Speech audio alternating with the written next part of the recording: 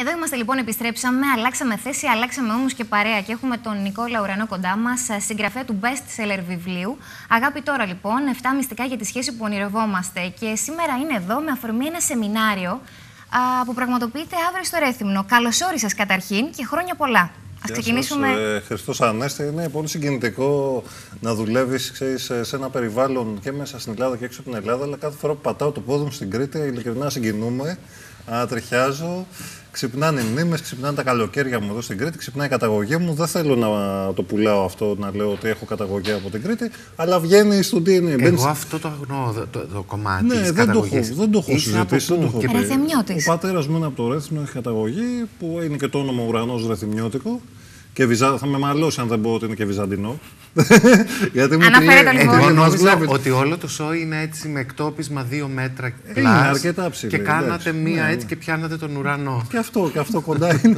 Ε, και η Ωραίος μαμά- συνειρμό, νομίζω η ότι μαμά- στέκει κιόλας. Στέκει, ναι. Και η μαμά έχει γεννηθεί στα Χανιά. Οπότε καταλαβαίνεις ότι. Α, και από τις δύο πλευρές. Και από τις δύο πλευρές, κριτικό. αλλά εντάξει, εγώ έχω γεννηθεί στην Αθήνα, τα καλοκαίρια ήμουν εδώ. Είναι συγκινητικό. Δηλαδή με το που κατεβαίνεις στο αεροπλάνο, παίρνεις αυτοκίνητο, κατεβάζεις τα παράθυρα και νιώθεις τον κριτικό αέρα, ανοίγεις το ραδιόφωνο, ακούς έτσι τη λύρα. Ε, Μπαίνει σε άλλα vibes. Πραγματικά είναι συγκινητικό και είμαι πολύ χαρούμενος που βρίσκομαι εδώ. Ετοιμάζουμε ένα φοβερό σεμινάριο.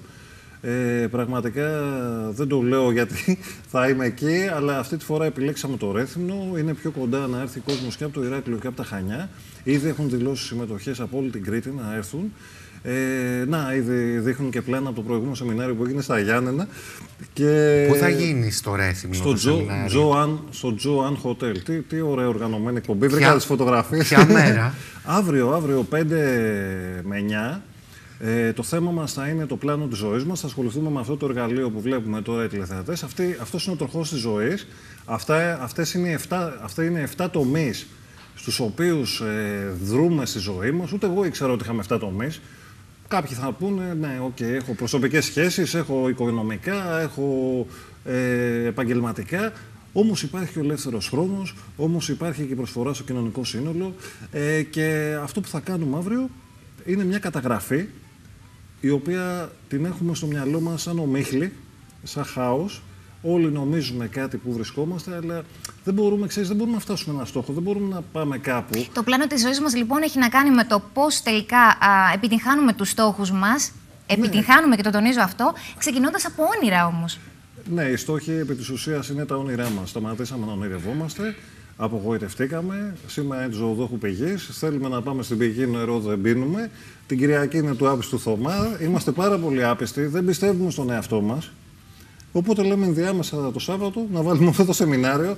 Ξεκινάμε πάντα από τον εαυτό μας και αυτό που μας λείπει και αυτό που διαπίστωσα και στους ε, φίλους και τις φίλες που το δοκιμάσαμε ήδη και το τρέξαμε αυτό το τετράωρο σεμινάριο. Γιατί εγώ για να κάνω αυτό το σεμινάριο χρειαζόταν να ταξιδέψω εκτός Ελλάδας, να πάω στην Αμερική, να πάω σε μια, στην Ευρώπη. Ε, τώρα που είμαστε εντός Ελλάδας, ε, μην το σκεφτούμε, να ταξιδέψουμε, να το ζήσουμε αυτό, να πάρουμε τη γνώση που λέγεται και εκτός Ελλάδας. Ε, αυτό που είδα είναι ότι μας λείπει καταγραφή. Θέλουμε όλοι κάπου να πάμε, θέλουμε κάπου να φτάσουμε, κουτσά στραβά, δεν ξέρουμε από πού ξεκινάμε. Δηλαδή, και ένα ταξί να σταματήσει στο δρόμο και να πεις: Θέλω να πάω στον κομμένο Μπεντέμι, θέλω να πάω, ξέρω εγώ, Αμουδάρα. Θα του πεις που θες να πας και βέβαια η αφετηρία σου είναι εκεί που βρίσκεσαι. Τι κάνουμε λάθος όμως και μας κρατάει πίσω στους στόχους μας και γενικότερα στη ζωή μας; Δεν κάνουμε συγκεκριμένους τους στόχους μας, δεν έχουμε μάθει να βάζουμε στόχους, θεωρο, θεωρητικολογούμε. Λέμε θέλω να βελτιώσω κατά κάποιο τρόπο τα οικονομικά μου. Πότε, πόσο, με ποια μέσα, από πού, ε, με ποια υποστήριξη. Ε, ποιος το έχει κα- κάνει κάτι αντίστοιχο που θες εσύ να τον βρεις, να δεις ότι γίνεται, να φτιάξεις την ψυχολογία σου, να το πιστέψεις περισσότερο, αν θες να ζε- συζητήσεις και μαζί του ή να δεις τον αντίστοιχο expert, ειδικό, σε αυτό το κομμάτι, έναν οικονομικό σύμβουλο ίσως, ή αν θες τη σχέση σου, ένα σύμβουλο σχέσεων. Πιστεύεις, Αν θες- είσαι σύμβουλο σχέσεων και είσαι ειδικό σχέσεων πέρα από συγγραφέας όμως. Ναι, δεν, δεν σταματάει στη σχέση, είναι συνολικό. Θέλω να μου πεις αν πιστεύεις ότι ο κόσμος πραγματικά α, είναι σαν να είναι σε λίθαργο πολλές φορές και έχει ανάγκη κάποιον να τον αφυπνίζει. Γιατί εδώ έρχεται και ο ρόλος ο δικός σου όμως. Ε, εντάξει, όμως ζούμε σε έναν κόσμο αγάπη, ζούμε σε έναν κόσμο. Θα έπρεπε να ζούμε σε έναν κόσμο αγάπης, θα έπρεπε να ζούμε σε έναν κόσμο ελευθερίας. Όσο και αν βγάζουμε τα λαρίγκια μας και φωνάζουμε, ζούμε, ο καθένας είναι κύριος του εαυτού του και παίρνει την προσωπική του ευθύνη. Έχουμε εγκλωβιστεί όμως, και θέλω να το πω για τους φίλους τηλεθεάτες και τις φίλες τηλεθεάτρε, έχουμε εγκλωβιστεί στα γρανάζια του προσπαθώ. Προσπαθώ να κάνω δίαιτα. Προσπαθώ. Ε, κάποια στιγμή θα ξεκινήσω. Προσπαθώ να αθληθώ. Άρα μένουμε στα Προσπαθώ λόγια, θέλεις να πεις; Ναι, λέμε να πετάμε ένα προσπαθώ. Πετάμε ένα προσπαθώ. Και μένουμε στην Ρίχνουμε προσπάθεια. στάχτη στα μάτια μας. Μένουμε όχι στα λόγια, στην ομίχλη. Είναι σαν το μαλλί της γριάς. Δηλαδή, νομίζουμε ότι θα πιάσουμε το στόχο και εξατμίζεται αυτό. Δεν ε, μπαίνουμε στη μεριά του καταφέρνω. Και αυτό δεν το λέω για να κρίνω κανέναν, βάζω για τον εαυτό μου μέσα. Ε, είναι πάρα πολύ δύσκολο όταν έχεις ανατραφεί, έχεις γαλουχηθεί. Έλα μωρέ, τώρα εντάξει. Ένα κιλό πάνω, ένα κιλό κάτω. Έλα μωρέ, τώρα εντάξει. Λίγο παραπάνω. Δεν έχει, κανείς δεν έχει ελεύθερο χρόνο. Γιατί να έχω εγώ; Γιατί να έχω ποιοτικό χρόνο με τον εαυτό μου; Γιατί να δω ε, τη ζωή μου πιο σφαιρικά. Αφού τα πάω καλά στη δουλειά μου. Δεν πειράζει που δεν είμαι καλά στι σχέσει μου. Δεν πειράζει που δεν είμαι καλά στην οικο- οικογένειά μου. Γινόμαστε δηλαδή άνθρωποι μονοδιάστατοι. Μονομερείς. Ζούμε μια μονοδιάστατη ζωή με κίνδυνο, θα πω πιο κάτω, και αυτό το ένα καλό που δουλεύεις να γκρεμιστεί. Γιατί έχεις στηρίξει όλη την ύπαρξή σου πάνω σε ένα τομέα, ρε φίλε. Υπάρχει μια α, ομάδα ανθρώπων που πελαγοδρομεί έτσι και κινείται μέσα στην ομίχλη χωρίς να έχει ξεκάθαρα το στόχο που θέλει να φτάσει. Είτε είναι ένας στόχος για την προσωπική του ζωή, είτε ένας οικονομικός.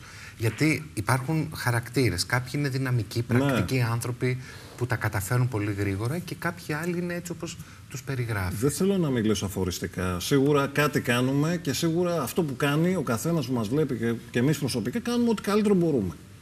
Αλλά λέω ότι δεν φτάνει αυτό. Και φυσικά, αν γίνουμε πιο συγκεκριμένοι στα θέλω μας, αν βελτιώσουμε, κάνουμε μικρά βήματα, γιατί όλοι οραματιζόμαστε τη μεγάλη βελτίωση. Να χάσω 30 κιλά. Να χάσω 15 κιλά. Άρα να- σκάλες να καλή. Βήμα, πηγαίνω βήμα κάθε θέλεις μέρα να για πεις. Όχι, μικρούς στόχους, Εφικτούς. μετρήσιμους, εφικτούς. Θα, θα κάνουμε μια άσκηση αύριο πέρα από την καταγραφή, θα- γιατί αυτό που θα γίνει με τη γνώση δεν θα είναι πάρτο ξερά αυτό, κάνε αυτό που σου λέω. Θα γίνει ένα παιχνίδι, θα γίνει διασκέδαση, θα γίνει μέσα από το χιούμορ. Ε, γιατί αυτά είναι βαριά πράγματα να παραδεχτεί ο καθένας να σηκώσει το μανίκι και να Είναι- πει: Εδώ δεν τα πάω καλά. Είναι σαν να εκμεύεις από μέσα, α, τουλάχιστον αυτό εκεί στοχεύει το σεμινάριο, να εκμεύεις από τον κάθε άνθρωπο αυτό το οποίο τελικά μέσα του γνωρίζει, αλλά ίσως και να μην το συνειδητοποιεί με την ομίχλη που μας είπες Θα προηγουμένως. του, θα του ξυπνήσει του καθενός, το δικό του. Ε, Θα γίνει μια ομαδική ατομική δουλειά όμως. Η, το- η ομαδική δουλειά θα βοηθήσει να νιώσει ότι θα βρεθεί κάποιος σε ένα περιβάλλον που δεν θα κρυθεί. Γιατί αν πάμε να τα πούμε αυτά σε ένα καφέ, αν πάμε να τα πούμε αυτά, να μου πεις τα λες στην τηλεόραση. Ε, ευχαριστώ την τηλεόραση που δίνει επιτέλους την ευκαιρία να ακουστεί και αυτή η φωνή και αυτή η διαφορετικότητα. Γιατί αν, αν έρθουμε λίγο πιο κοντά στα όνειρά μας, αν πετύχουμε ένα-δύο μικρούς στόχους ο καθένας, γιατί επειδή δεν πετύχαμε κάποιους στόχους, παρατήσαμε το όνειρο, παρατήσαμε να βάζουμε στόχους. Και δεν ξέρουμε πόσο κοντά είμαστε να το πετύχουμε. Απλά πρέπει να γίνουμε, χρειάζεται να μάθουμε εργαλεία για να γίνουμε πιο συγκεκριμένοι. Και όχι μόνο αυτό, να μπούμε στη δράση, να μπούμε στις ενέργειες που θα μας φέρουν κοντά στο στόχο. Όπως μπαίνω στο ταξί και πάει ο ταξιτζής στη διαδρομή και οδηγεί και κάνει 5-10 χιλιόμετρα. Έτσι και εγώ πρέπει να γράψω χιλιόμετρα για να έρθω κοντά στο στόχο μου. Όχι να κάθομαι εδώ αραχτό και να λέω Αχ, δεν το πέτυχα». Χανόμαστε, χανόμαστε πολλές φορές μέσα έτσι στο συνοθήλευμα των υποχρεώσεων των ανθρώπων, μας πλαισιώνουν και ξεχνάμε ότι εμείς τελικά και ο εαυτός μας είναι βασική μας προτεραιότητα. Ακριβώς. Επιτρέπουμε να χανόμαστε. Είναι πάρα πολύ βολικό γιατί βγαίνουμε έξω και βλέπουμε κόσμο αλλοπαρμένο. Ήμουνα το μεσημέρι στα λιοντάρια, έκανα μια βόλτα, έβγαλα τις φωτογραφίες μου εκεί τα δικά μου. Πήρα λίγο τον αέρα μου, τον Ηρακλειώτικο που μου αρέσει πάρα πολύ, έτσι στο κέντρο εκεί, ωραία που έχει πεζοδρομηθεί. Και βλέπω ο κόσμος πάει και έρχεται αλαφιασμένος, δεν ξέρει πού πάει. Πού... κα- Είναι πο- πολύ αγχωμένος ο κόσμος. Τρέχει να προλάβει τι, θα πω. Δεν έχουμε χαθεί και γιατί έχουμε επιτρέψει να χαθούμε, γιατί επειδή το κάνουν οι περισσότεροι, αυτό που ρώτησε και ο Στέλιος πριν, η πλειοψηφία θα κάνει αυτό. Ε, Εδώ κοιτάμε κάποιος αν θέλει να διαφοροποιηθεί, όχι ελιτίστικα και αιρετικά για να βγει έξω από το σύνολο και να κρίνει τους άλλους, αλλά να αρχίσει να βάζει ένα σποράκι, μια διαφορετικότητα στο δικό του εαυτό και να κάνει τη διαφορά στο περιβάλλον του. Επιτρέπουμε να χανόμαστε, Ιωάννα μου, γιατί μπλέκουμε τη ζωή των άλλων. Εγώ έχω μπλέξει, ας πούμε, τι ήθελε ο πατέρας μου και τι φανταζόταν η μάνα μου και ποιες είναι οι υποχρεώσεις τώρα από τη σύζυγό μου και τι μου ζητάει το παιδί μου. Και ε, εντάξει, αφού τους χάνω όλη μου την ενέργεια για να καλύψω αυτούς τους 4-5, ποιος είμαι εγώ; Πέφτω και κοιμάμαι, έχω χάσει κάθε Ακούμε ενέργεια. τις προσδοκίες και τα θέλω των άλλων Ζου- και ξεχνάμε τα δικά μας Ζου- θέλω. ζούμε τις ζωές των άλλων. Προσπαθούμε να είμαστε αρεστοί, προσπαθούμε να είμαστε αποδεκτοί, προσπαθούμε να ικανοποιήσουμε τους άλλους.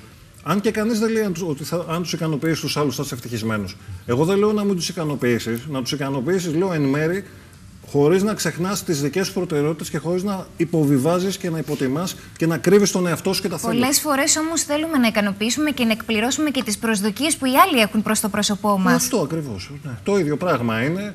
Ε, απλά αλλάζει το πρόσημο και φορά που γίνεται. Ε, βέβαια, γιατί αυτό ξεκίνησε ε, από πολύ νωρίς. Από ότι λογικά ξεκίνησε από την οικογένεια, από το πρώτο σύνολο που θέλαμε να είμαστε αρεστοί αποδεχτοί. Συνεχίζεται στο σχολείο και αρχίζει και συνεχίζεται και στο κοινωνικό σύνολο το οποίο ενεργούμε πια, σαν ενήλικες. Αλλά δεν έχουμε καταλάβει ότι είμαστε ενήλικες πια. Ε, δεν υπάρχει απόρριψη. Κανείς δεν μπορεί να μας απορρίψει ό,τι και να μας φέρνει ο καθένας, ό,τι κρίση να βγαίνει πάνω μας. Γιατί ο καθένας κάνει προβολή τη δικιά του επάρκεια πάνω μας. Θα μας ψάξει να μας βρει λίγο ανασφαλή, να είμαστε λίγο ανασφαλείς, να είμαστε λίγο αδύναμοι και εκείνη τη στιγμή. με ένα- Ικανοποιείται εκείνου από αυτό το οποίο ε, αισθάνεται ως αυτό, ανασφάλεια. Η δικιά του ανασφάλεια στο, στο, την πετάει, πα- είναι το εθνικό μας σπορ. Την Και εσύ πετάει τι πάνω. κάνεις σου. όταν σου έρχεται η ανασφάλεια του άλλου, γιατί υπάρχουν πολλοί ανασφαλείς γύρω μας, καλός ή κακός, πολλές φορές και στο, στο περιβάλλον και το εργασιακό και το φιλικό. Κοίταξε, τι ε, κάνεις, όταν, πώς... σου, όταν σου πώς έρχεται η αμήνεσαι; ανασφάλεια του άλλου, το πρώτο στάδιο είναι να, την, να τη φας πάνω σου. Να την κάνεις και δικιά σου ανασφάλεια. Αυτό είναι το πρώτο στάδιο, το πρώτο σκαλί. Το δεύτερο σκαλί είναι να αρχίσεις να ψάχνεσαι, να λες τώρα αυτό που μου είπε αυτός. Πόσο με αφορά εμένα; Είμαι εγώ πραγματικά, ξέρω εγώ, αδιάφορος; Είμαι πραγματικά, με είπε κάποιος τεμπέλη. Είμαι πραγματικά τεμπέλης; Α, κάποιες μέρες είμαι, κάποιες μέρες δεν είμαι. Ε, τότε, αν έχει μια βάση αυτό που μου λέει, να κοιτάξω να βελτιωθώ, χωρίς να το πάρω προσωπικά αυτό που μου είπε, γιατί μπορεί να ήταν και ένα μήνυμα για μένα. Άρα να κάνω και την αυτοκριτική μου και μετά να Πάντα, συγκριτήσω αυτό το πάντα, οποίο στέκει. πάντα χωρίς να θυματοποιηθώ και χωρίς να αρχίσω να τσακώνομαι, θα δω γιατί μου ήρθε αυτό το μήνυμα. Έχει κάποιο λόγο; Τώρα, αν συνεχίσει να μου έρχεται αυτό το μήνυμα, το οποίο πραγματικά δεν, δεν αντικατοπτρίζει την πραγματικότητά μου, θα αρχίσω να λέω το μεγάλο αυτό πράγμα το οποίο μας λείπει, να λέω όχι, να βάζω όριο, να λέω sorry, αυτό που λες δεν μου λέει κάτι εμένα. Σε ευχαριστώ πάντως που μου το είπες, να βάζω το όριό μου, να προστατεύομαι από αυτή την κριτική. Υπάρχει συνταγή και υπάρχει δρόμος για να καταφέρει κάποιος να πάει τη ζωή του μπροστά και να πετύχει τους στόχους του; Η, η συνταγή που θα είχα να προτείνω είναι να κάνει ό,τι καλύτερο μπορεί ο καθένας μας να, να ακούει το συνέστημά του, πώς νιώθει τώρα, Τη δεδομένη στιγμή. κάθε στιγμή. Αν κάτι τον πνίγει, αν κάτι τον πικραίνει, να δει πού επιτρέπει αυτός κάτι να, να, να έχει ένα πνιγυρό συνέστημα και να κοιτάξει πώς μπορεί, με ποια σκέψη, με ποιο στόχο. Όχι αύριο θα πάω για μπάσκετ και αύριο θα είμαι καλά επειδή θα πάω για μπάσκετ. Όχι αύριο θα είναι Σάββατο, α, θα κα- πιω ένα καφέ.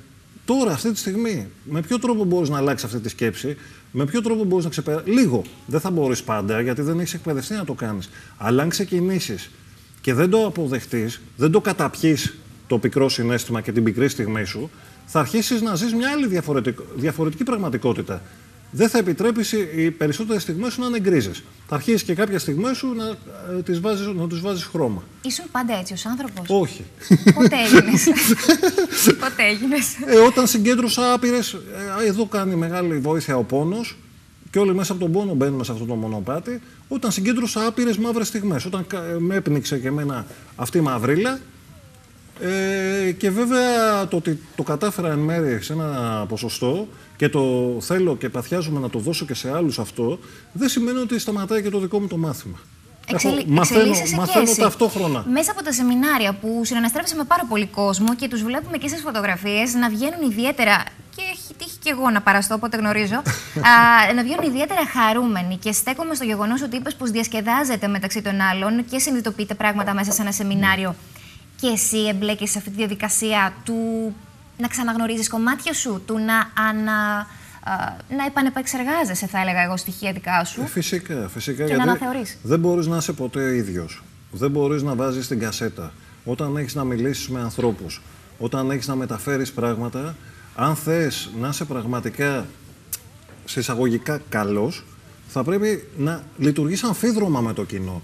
Θα πρέπει να, δια... να μπορείς ένα κοινό πλέον, σαν ομιλητής, σαν εκπαιδευτής, σαν, ε, ε, πώς να το πω, σαν, ε, να μην πω, δεν θα πω, δα- σαν, σαν performer εκεί, να αφουγκράζεσαι τι, τι θέλει το κοινό και πού μπορείς να του δώσεις το καλύτερό σου. Ε, και δεν μπορείς να λες τα ίδια, έτσι, πρέπει να, με πολλούς δρόμους και με πολλά παραδείγματα ε, και με πολύ πάθος να μεταφέρεις και να ενεργοποιείς το θετικό στοιχείο. Γιατί όλοι μέσα μας, μέσα μας, μέσα μας βαθιά έχουμε αυτό το συν. Το συν. Το οποίο το έχουμε κρύψει. Και όλοι μας ε, πραγματικά ουρλιάζουμε κάθε μέρα να το βγάλουμε. Να το ξαναφέρουμε στην επιφάνεια. Απλά δεν έχουμε τις, α, τις αφορμές, δεν έχουμε τις ευκαιρίες, δεν έχουμε τις παρέες, δεν έχουμε τις εκδηλώσεις. Δεν έχουμε και τη γνώση. Ε, φυσικά δεν έχουμε τη γνώση. Ε, φυσικά δεν έχουμε τη γνώση, γιατί η γνώση δεν είναι να πάρω μια βιβλιοθήκη να τη διαβάσω από πάνω μέχρι κάτω. Είναι, ναι, να διαβάσω ένα βιβλίο, να μπω σε ένα σεμινάριο, αλλά το σεμινάριο θα τελειώσει μετά από τέσσερις ώρες. Ε, μετά τις τέσσερις ώρες, το κλειδί της, του σύνσου, του ωραίου συναισθήματος και της ατομικής σου Είναι μέσα υπευθυνότητας σου. της εφαρμογής είναι δικό σου, φίλε. Γιατί αν ήταν έτσι, έρχονται 30, 40, 50, 100 άτομα σε ένα σεμινάριο, δεν θα βοηθηθούν όλοι το ίδιο. Και εγώ δεν θα πω διαφορετικά στον καθένα, θα πω τα ίδια για όλους, για το κοινό. Αλλά το πώς θα το πάρει ο καθένας με τη δικιά του διάσταση, τις δικές του προσλαμβάνουσες και τη δικιά του εφαρμογή από, την επόμενη, από το επόμενο λεπτό, από το επόμενο τώρα, ε, αυτό θα κάνει τη διαφορά. Αλλά όλοι έχουν ευκαιρία, όλοι έχουν δυνατότητα να δεσμεύσουν, θα έλεγα, χρόνο και πάρα πολύ λίγο χρήμα γιατί δεν γίνεται να δεν δεσμεύσω χρόνο και κάποιο χρήμα ε, να, να Εγώ- κάτσω να ακούσω και να επενδύσω στον εαυτό μου. Εγώ θέλω να σε ρωτήσω κάτι άλλο. Σε μια τάξη, γιατί αν παραλύσουμε μια όμορφη ομάδα ενός σεμιναρίου, εκάστοτε σεμιναρίου, ε, σε μια τάξη έχει τον δάσκαλο και καλό ή κακός τα παιδιά είναι εκεί γιατί πρέπει να είναι πολλές Μιλάς φορές. από την ειδικότητά σου. Ε, τώρα. μιλάω από τη δική μου εμπειρία και ειδικότητα, αλλά θέλω να μου πεις τώρα, στην περίπτωση που είναι ένα σεμινάριο, είναι άνθρωποι οι οποίοι είναι ενήλικες και επιλέγουν να έρθουν για να ακούσουν και να ξεκλειδώσουν κάποια πράγματα που έχουν μέσα τους ξεχάσει πολλές φορές ή κοιμήσει πολλές φορές. Σου έχει τύχει περίπτωση να έρθει κάποιος ή κάποια κυρία η οποία να είναι και λίγο προκατελημένη και να έχει λίγο και κάποια. Να είναι κουμπωμένη και να λέει τώρα τι μου λέει αυτός και γιατί; Α, και, και να πρέπει να ακολουθήσεις μια πολύ πιο α, δύσκολη και σύνθετη διαδικασία για να την ξεμπλοκάρεις ή να τον ξεμπλοκάρεις. εντάξει, δεν είναι. Είναι υποπεριπτώσεις αυτές. Συνήθως αυτοί που έρχονται το έχουν πάρει απόφαση.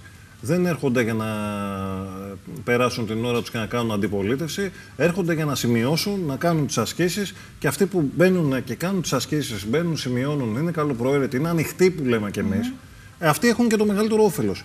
Τώρα, σε ένα γκρουπ 50 ατόμων, αν υπάρχει και ένας ο οποίος. Γιατί υπάρχει αντίσταση το εγώ μας Κάτι θα πει και κάποιοι που μας βλέπουν τώρα στην τηλεόραση λέει τι λέει αυτός, ποιος είναι αυτός. Κάποιοι βλέπουν τα βίντεο μας στο YouTube, βλέπουν το βίντεο, τα βίντεο μας που κάνουμε με την Τζίλ στο Facebook.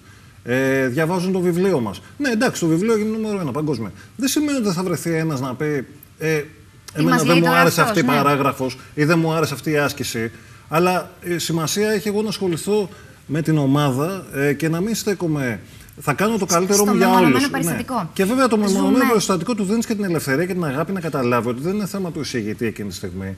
Είναι θέμα της δικιά τον βάζει την ευθύνη του να καταλάβει είναι θέμα της δικιάς του ακόμα αντίστασης. Και εσωτερικής Την οποία συνειδητοποίηση. μόνο εκείνος μπορεί να τη ρίξει. Ζούμε, ζούμε σε μια εποχή, θεωρείς, που έχουμε ανάγκη κάποιον να μας συμβουλεύει και να μας καθοδηγεί; Εντάξει, χωρίς να κατα, κατα, καταρακώνει την ατομική μας ελευθερία. Αυτό πρέπει να... Αυτή η, κα- η καθοδήγηση θα είναι οικία βουλήση, είναι μια συμβουλευτική κατάσταση, ε, η οποία χρειάζεται να γίνεται από ειδικούς, να σπάσει αυτό το ταμπού ότι είμαι υποχείριο του κάθε ειδικού, παντού τα πάντα και ο καθένας μπορεί να βρει τον ειδικό που μπορεί να τον υποστηρίξει. Γιατί ο, ο σωστός ειδικός θα δώσει πολύ αγάπη. Ε, το βλέπεις σαν μια συνεργασία, το βλέπεις σαν ένα παράσημο. Η επιτυχία και η αλλαγή στι ζωέ των άλλων είναι το δικό μας παράσημο, είναι η δική μας εξέλιξη. Και εμείς δεν θέλουμε να παίξουμε με αυτό. Νομίζω δεν το έχουμε όμως συνειδητοποιήσει πάντα και αντιστεκόμαστε στην αλλαγή μας. Δεν Ξεβολεύει πειράζει. αυτό που έχουμε μάθει στη ζωή μας να το πάμε από άλλο δρόμο. Μα ξεβολεύει γιατί χάλαμε ε, αρκετά χρήματα στη, ακόμα, έστω και από τα λίγα που μας έχουν απομείνει στην ύλη. Ε, και εγώ δεν ήξερα ότι μπορούσα να δώσω κάποια λίγα λεφτά σε έναν ειδικό να με υποστηρίξει και να γλίτωνα όλα αυτά τα. Γιατί αυτά κάπου γίνονται και ψυχοσωματικά από ένα σημείο και πέρα. Όλες οι ασθένειες, όλοι οι τραυματισμοί, ε, ο κακός ύπνος, ότι κοιμάμαι και ξυπνάω τον άλλη μέρα το πρωί περισσότερο κουρασμένος από ό,τι κοιμήθηκα. Είναι οι, οι φοβίες, τα άγχη οι- που μας ε, ταλαιπωρούν. Τα κρατάμε, τα φυλακίζουμε μέσα μας και ε, κάνουμε τον εαυτό μας τοξικό. Τον μολύνουμε. Το να συζητήσω με έναν άνθρωπο και να μου πει δεν θα μου πει τίποτα απε, απίστευτα πράγματα που μπορώ να κάνω. Θα μου πει: Διάβασε, φίλε, δύο σελίδες, δύο φορές τη βδομάδα από ένα βιβλίο, κάνε λίγο γυμναστήριο. Ε, πειθάρχησε λίγο στα, όταν σου έρχεται μια αρνητική σκέψη, θα σου δώσει ένα-δύο tip πώς μπορείς να το γυρνάς αυτό. Και βέβαια μετά θα φτάσεις και εσύ σε σημείο να βρεις το δικό σου τρόπο. Εντάξει, και αυτό είναι πάρα πολύ ωραίο να, να συμβεί. Και εκεί είναι ένα σημείο που γυρνάει πραγματικά ο διακόπτης της ζωής μας και μπαίνουν στην αυτή τη λεγόμενη αυτοβελτίωση μέσα από την αφύπνιση. και το κρατάμε αυτό. Αυτά και άλλα πολλά θα ακούσετε στο σεμινάριο που θα γίνει αύριο στο Ρέθυμνο και θα είστε ομιλητής. Έχουμε και τα ονόματα των δύο πιο γρήγορων που τηλεφώνησαν για να κερδίσουν το βιβλίο bestseller. Αγάπη τώρα. Αλίκη είναι... Μαρουλάκη λοιπόν και Κατερίνα Σημαντηράκη είναι οι τυχερές. Να υπογράψουμε και τα, τα ονόματά τους. Θα είναι υπογεγραμμένο το βιβλίο. Στην Αλίκη και την Κατερίνα. Ωραία, λοιπόν. αμέσως. Εξαιρετικά. Νικόλα, σε ευχαριστούμε πάρα πολύ. Είναι μεγάλη τιμή Χαρήκαμε που η φιλοξενία σας είχαμε κοντά μας και να περάσεις όμορφα και τις επόμενες μέρες που θα μείνεις στο νησί. Καλό και δημιουργικό Σαββατοκύριακο. Περιμένω, σας περιμένω όλους και από κοντά να τα πούμε αύριο στο Ρέθυμνο.